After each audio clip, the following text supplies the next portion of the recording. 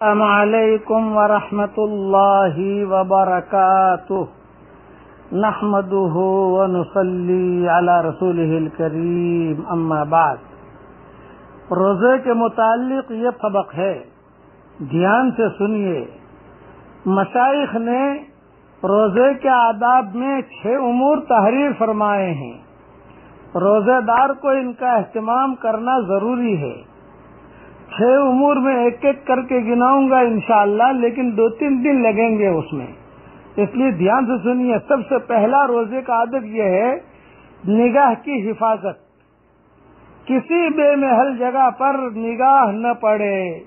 हत्या के उलमा ने लिखा है कि जो अपनी हूर है न, जो हमारी जो बीवी है, बीवी पर भी शहवत की निगाह न पड़े। फिर अजनबी का क्या ज़िक्र है? इसी तरह किसी लाभ वगैरह नाजायज जगह न पड़े, खास तौर से। रमज़ान के महीने में अगर क्रिकेट का खेल हो तो मुसलमानों को तो बहुत एहतियात करना चाहिए। कि हमारा क्या ताल्लुक क्रिकेट के खेल से? इसी तरीके से ये फेसबुक पर बैठना रमज़ान के महीने में, और इसी तरीके से ये मोबाइल को लेकर जो है हर वक्त जो है व्हाट्सएप इधर उधर की बातें भेजना रमज़ान के महीने में गलत गलत तस्वीरें देखना, ये सारी की सारी चीज़ें इसमें शामिल है। इसके लिए अपनी निगाहों की हिफाजत, ये बहुत बहुत बहुत ज़रूरी है। किसी पर भी न पड़े। जब बीवी पर शहावत की निगाह डालने से मना किया ओलमा ने बाद ने लिखा है कि बीवी को भी शहावत की निगाह से न देखे। रास्ते में आप जा रहे हैं, कोई फ़ोटो लगे हुए हैं तो वैसे उनका देखना तो हर हाल में हराम ही हराम है। लेकिन ये रमज़ान के महीने में थोड़ा उसका काफ़ी ख्याल रखिए, ताकि आपका रोजा कबूल हो जाए। और दूसरी चीज़ जो है, ज़ुबान की हिफाजत है। झूठ, चगलखोरी लव बकवास, गीबत, बदगोई, बदकलामी, रमज़ान के महीने में रोज़े की हालत में जरा आदमी को गुस्सा भी ज़्यादा आता है, झगड़ा वगैरह, ये सारी की सारी चीज़ें इसमें दाखिल है। इसमें खास तौर से गीबत से बहुत बचा जाए। एक हदीस और एक किस्सा मुख्तर सुन लीजिए। हुजूर सल्लल्लाहु अलैहि वसल्लम के जमाने में दो औरतों ने रोजा रखा। रोजा में इतनी शिद्दत से उन्हें भूख लगी कि नाकाबिल बर्दाश्त बन गई। मौत के वक्त, मौत का वक्त करीब आ गया।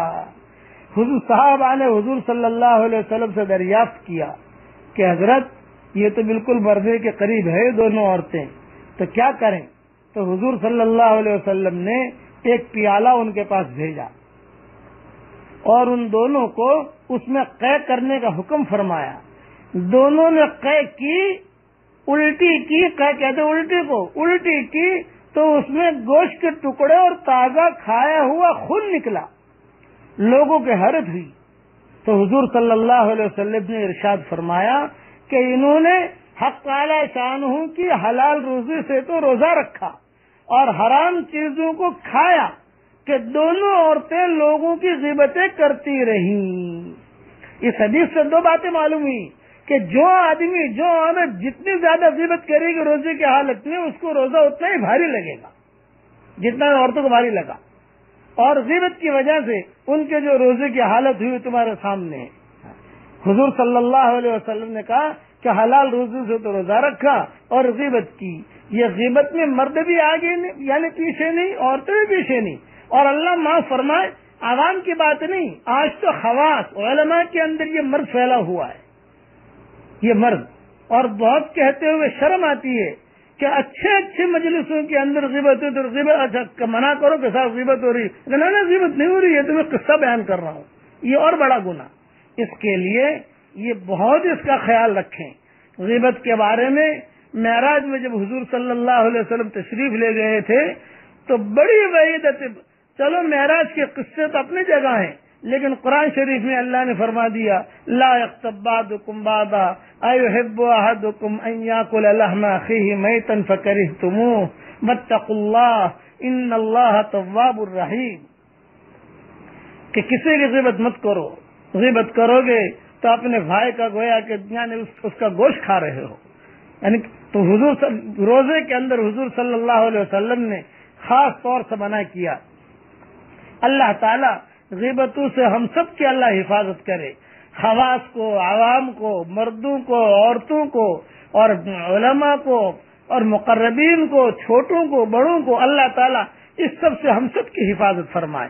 बकिया तफसील कर इंशाल्लाह